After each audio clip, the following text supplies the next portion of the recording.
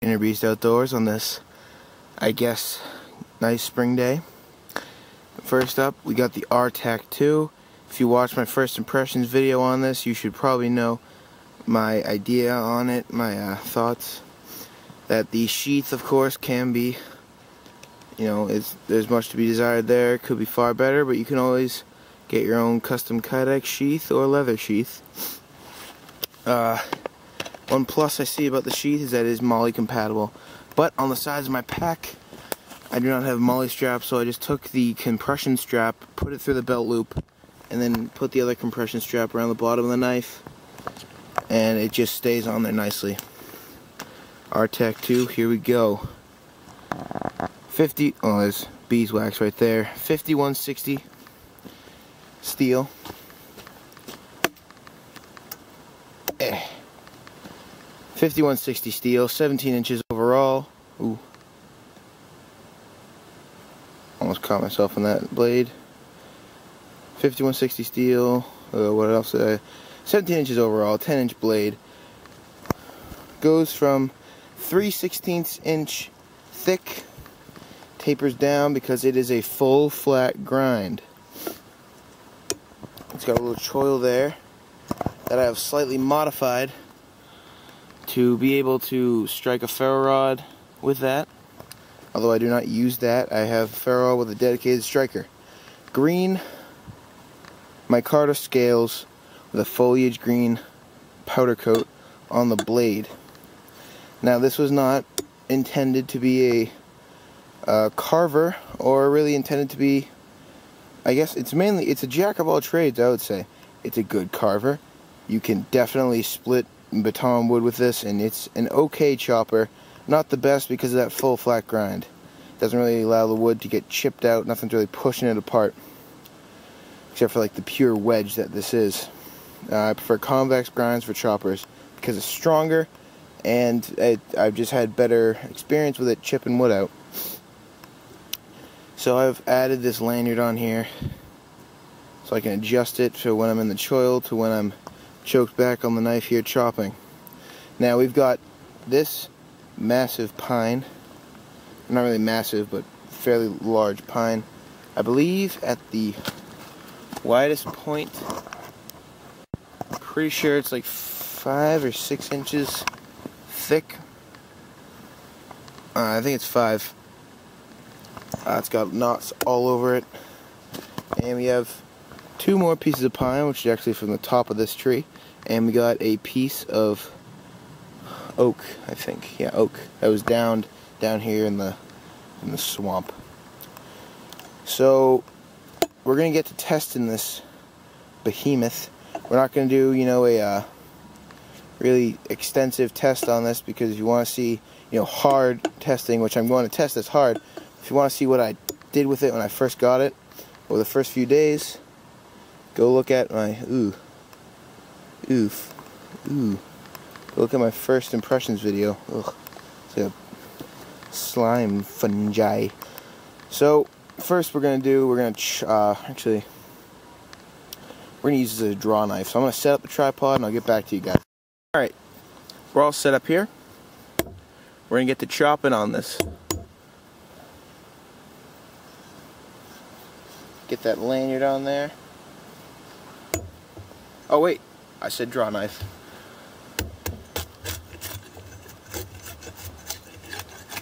Because of its length, you know, uh, it's not the ideal draw knife, but you can use it as that.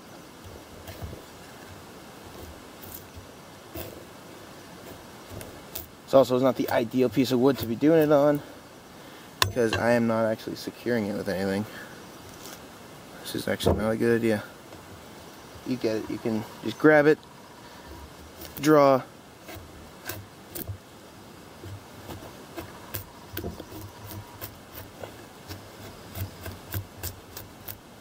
Get the idea, right?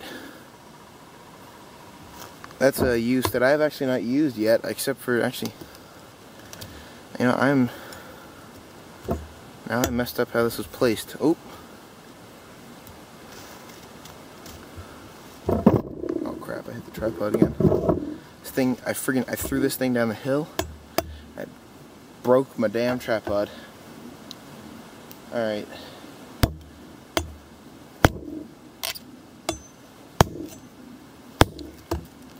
Holy crap.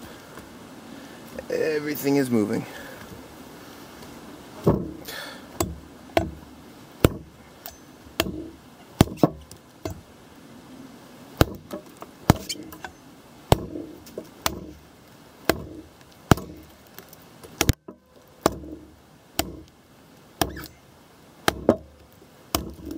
Holy crap. Oh my god.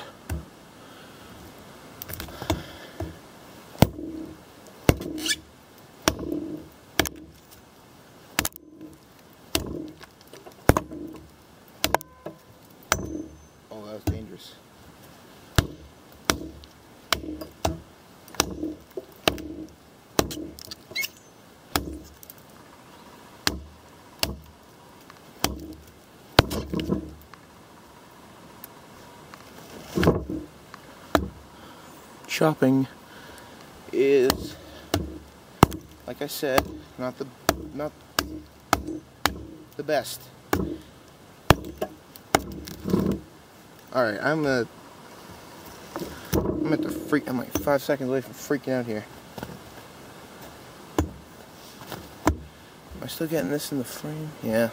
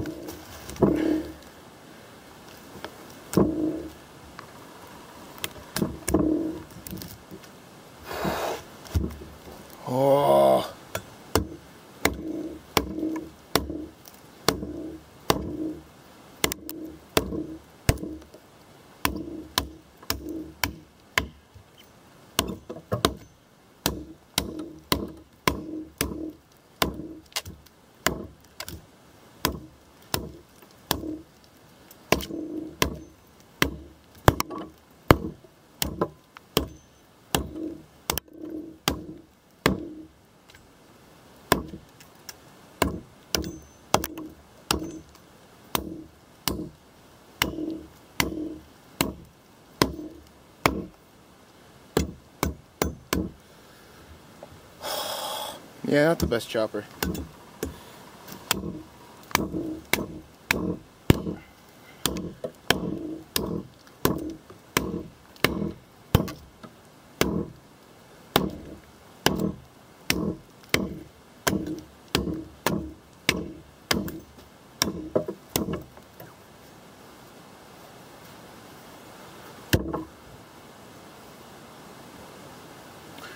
Now because this was laying on a log. I'm gonna have to flip it over.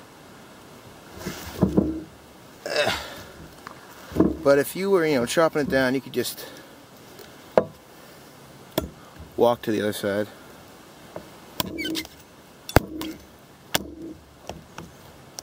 Oh, oh my god. Really embedded in there. If you had to use this on a human, an animal, if you're like in a self-defense kind of thing, you know, if someone's attacking you with a knife and you just happen to have been EDCing a monstrous RTAK-2 on that day, you would either scare them off from just the sheer size of this thing,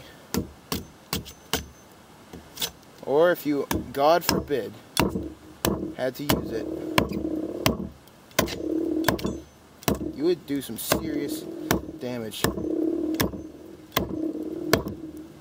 Or against an animal, you know, in the woods like a uh, coyote or something. That's mainly what we have here is coyotes. So we're not really in too much danger from bears or anything. Or cougars, mountain lions, and stuff. We do have turkeys that have balls though. Like these turkeys, they will they are not afraid of you. They will walk up to you. They will gobble at you. They will they'll do all kinds of stuff. They broke into people's houses when their door they didn't really break in, their doors were open. They just waltzed on in. They waltzed into my cousin's house actually one time attacked her. She fought it off with a stool.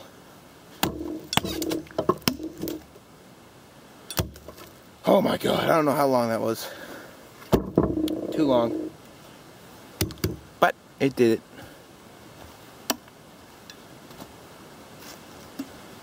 Right tool for the job, I guess, is what you need. You should probably have an axe or a saw with you. But if this was the only tool you had, you definitely get it done. I'm not going to cut that again. Alright. Look at that. That is approximately, I would say, 10 inch blade. I would say that's like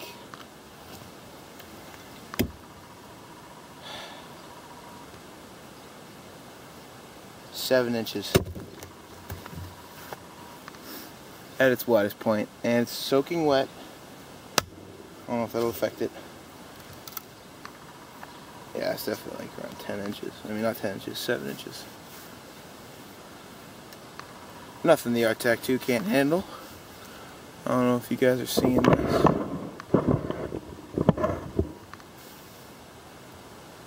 Alright our big ass baton here. Switch it over.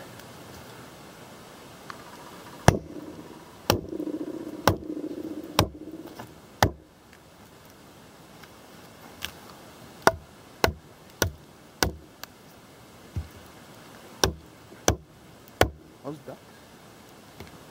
Oh, the swans came closer.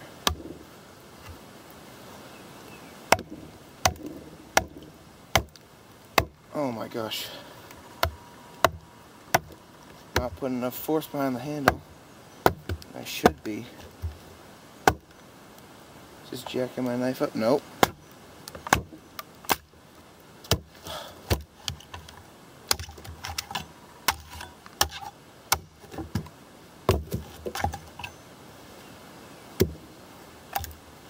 There. So here it is. So here it is. Let's get to the carving and doing finer task abilities of the Ontario RTAK 2. Here we are with a carvable piece of wood. Let's baton it down with our hands like savages that we are. Now, get up in that choil. Make ridiculously small and unusable feathers. Oh yes, look at that. Beautiful. Paper thin. You guys catching this? Picking up what I'm putting down? Look at that. Do it again.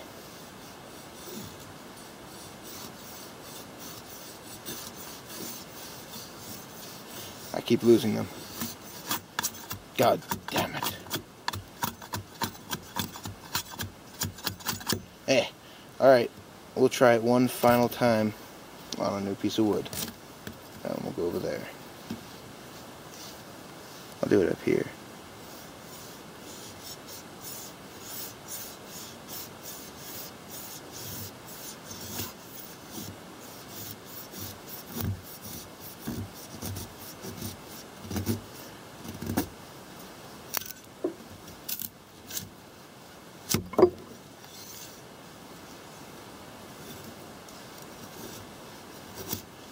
Can feather I'm not a feather sticking pro, but I can feather. Let's make, I did this in my Pat Golock video, I really liked it actually. Let's make a, let's make a uh, tent stake. Here's a stick.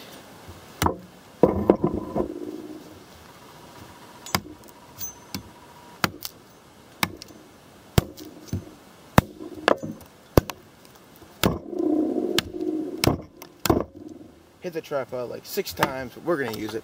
Here we go.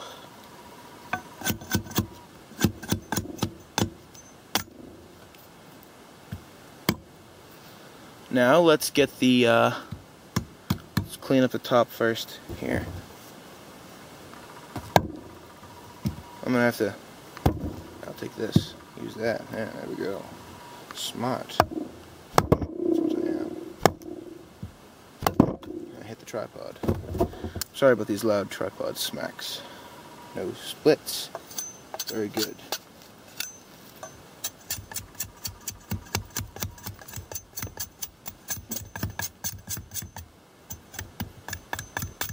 because I'm a primitive savage, we're gonna shave all the bark off like this. Actually, let's try a 90 degree spine. There it is. Actually, it's not the best, but it's there. You guys, you guys see that? You guys can really hear that steel ring.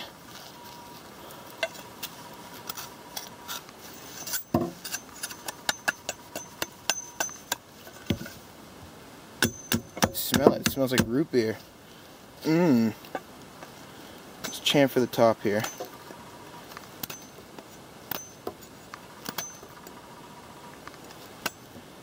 Should do with all your tent stakes you make out of wood because they will split if you hammer them in.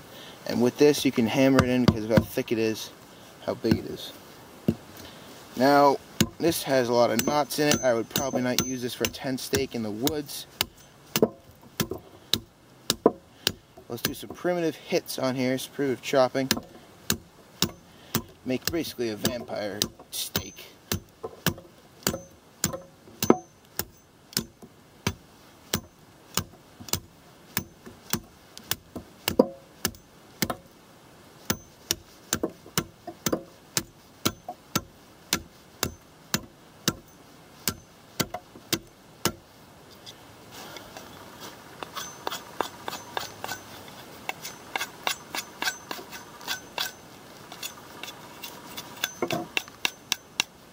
There we go. That would hammer into the ground fairly nicely.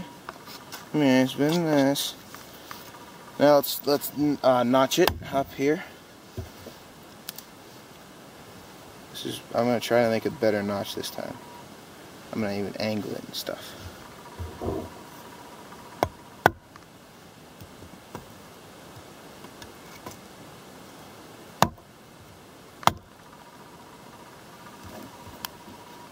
Okay. Got an issue. Kind of split the wood.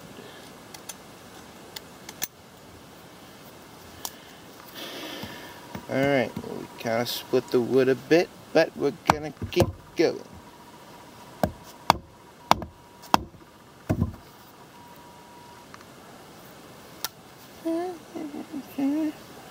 Get in there.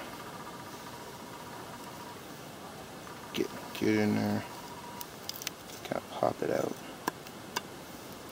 If I made this with the Laplander, it would be far easier. Let's use the tip for some good fine carving. Oh my, you guys aren't seeing this.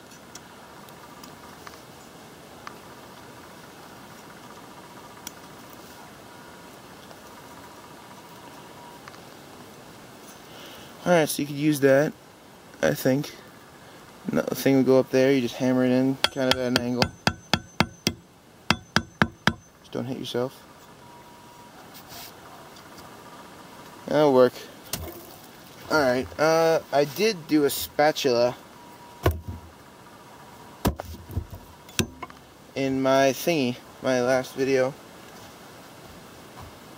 Now that I'm going to do that, let's see if I do.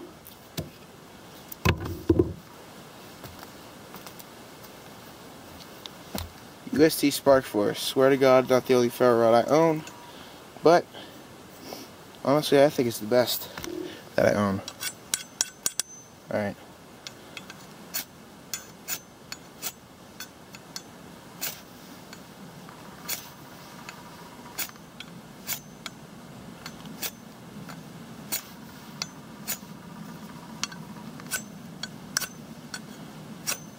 As I thought, the spine itself can't get sparks, but the notch can because it's uncoated.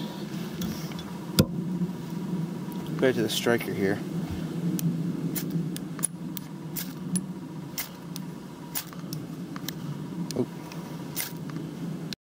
My final thoughts and impressions on the knife. Well, ladies and gentlemen, let me reset myself here. The blade, very sharp, 6000 grit, work sharp knife and tool sharpener, slightly convex secondary bevel. You can see the wear on that coating on both sides. That's mainly where I put my stuff to baton. Got wear on the spine on both sides. Uh, you know, my micarta gets dirty, easy to clean. My Micarta scales I kind of fixed up up here, kind of made it flush with the uh, with the spine, the tang. It it works nice. Uh, the coating was like sandpaper. I can almost strike a damn match with it. Just how rough it was, but it gotten really smooth right here, and it's starting to come off around the edge. Uh, it feels really good. Once you pick it up and you just kind of let it hang in your hand, it's trying to go forward, which is, it really is a chopper. But, you know, the grind doesn't exactly, it could be far better. If it was a saber ground knife, I think it could be way better.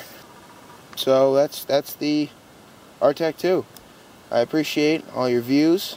I appreciate you, uh, if you would like, share, and subscribe. Help grow the channel. I would appreciate that. And I would also love it if you comment. You know, give me some feedback on my video, what I'm doing right, what I'm doing wrong. And as always, see you next time. I guess, not as always. I say something else sometimes. Whatever.